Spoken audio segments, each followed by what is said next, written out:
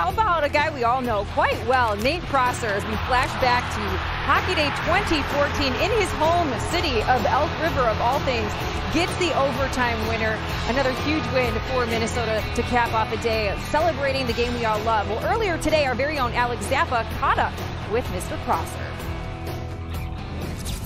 Hockey Day Minnesota continues from the cities, and we find ourselves in Plymouth in Nate Prosser's house here. Uh, Nate, first of all, thank you for letting us inside.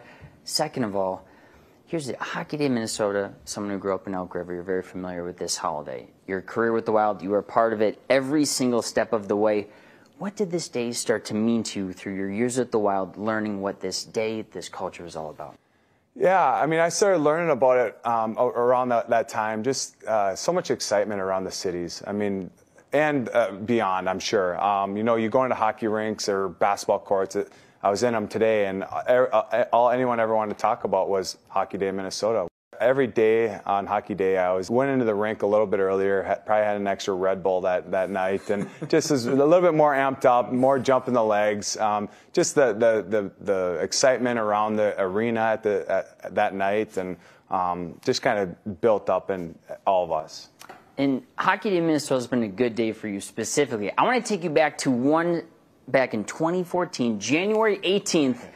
I would have to think that that OT winner stands pretty tall amongst the goals that you got to have in the NHL. Yeah, um, that was at the top. Um, you know, I, it was a situation that I never get in. I, I, don't, I don't remember another shift in overtime in the rest of my career. So that was kind of the one time Rick Wilson tapped on my shoulder, said, "Hey, Pross, you're up," and I.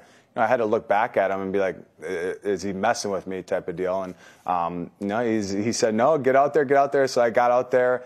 Um, you know, kind of rim the puck in behind. I remember Coyle collecting it, getting it out to Niederreiter, shoots the puck on net. Fire, save, rebound, score! Nate Prosser wins it for the Wild. Um, just that moment, I felt like I, it, was, it was the right time. Puck popped up to, out to me and put it in, and um, yeah, it's something that I'll always remember and tell my grandkids about someday for sure. When you think of this day in general, what are some of the memories and the moments that you're going to um, really cherish with you and bring with you the rest of your life? Yeah, that's a, I mean, great question. It's uh, you know, my wife put together a retirement video for me, and I just seeing so many of the old teammates that I, I was able to um, see on the video and the messages I received. Um, just so much support from those guys. I, I feel like those relationships you build, um, those teammates that you had um, the trainers, the radio guys. I mean, it, the list goes on. It, there's so many good people along the way, and it, it's it's those friendships that I'll truly remember. I'm, i was so blessed to play for the hometown team for so many years, and the fans at the Xcel Energy Center, the best across the whole NHL. For you, how appreciative have you been towards these fans and maybe a so long message to them because I'm sure they've had your back this whole way yeah. and I think that you have theirs as well. Yeah, yeah, for sure. I mean, they, they've always been so supportive of me. This state truly loves the Wild and it is the state of hockey and, um, you know, the fans have always been number one to me and um, I, I, any way I was able to give back through charity or different organizations, I, I always wanted to do that and give back to the state former Wild defenseman Nate Prosser. Thank you so much for welcoming us into your home. Yeah. Thanks for coming. It's Hockey Day, Minnesota. It's a hockey holiday from Plymouth. These two guys signing off.